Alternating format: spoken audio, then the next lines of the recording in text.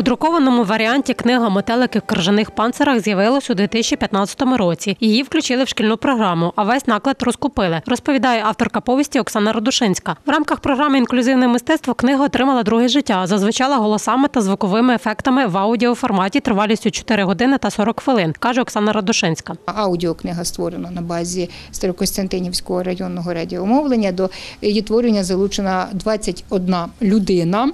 Це от ті люди, чиї голоси звучать у книзі. Це і професійні актори, і непрофесійні актори, що надзвичайно е, мені, як е, автору, е, надзвичайно цінно, що люди, які мають от різні професійні життєві дороги, зовсім не дотичні ні до акторства, ні до якогось такого публічного публічних виступів, вони погодилися.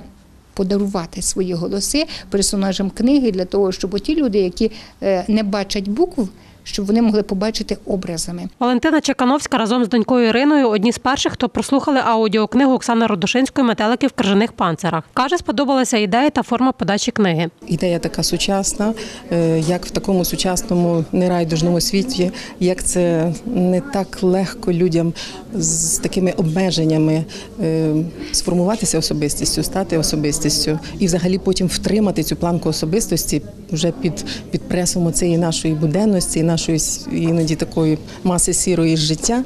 От і як щоб от таких людей не загнало обратно в цю е, ракушку, і щоб вони не тільки споглядали, а щоб жили і повноцінно жили як особистості, як люди. Олександр Петрук озвучив в книзі дядька Павла. Каже, вжитись в роль допомогла авторка книги Оксана Родушинська. З героєм книги військовослужбовець ототожнює себе наполовину. Дядько Павло він такий трішечки буркотун, але він такий цілеспрямований буркотун. От він сказав зробити, значить зробити.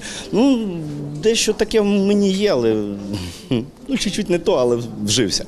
Створення аудіокниги за творами місцевого письменника це перший проєкт на теренах області, який втілюють працівники обласної дитячої бібліотеки імені Шевченка, каже директорка закладу Валентина Черноус. Ми вже маємо книгу у записі.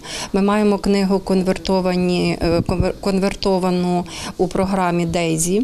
Я вже е, можу сьогодні е, сказати, що книга вже стоїть в онлайн бібліотеці Слухай, це українська платформа, і стоїть також на платформі бібліотеки Дейзі, Львівської е, бібліотеки Дейзі.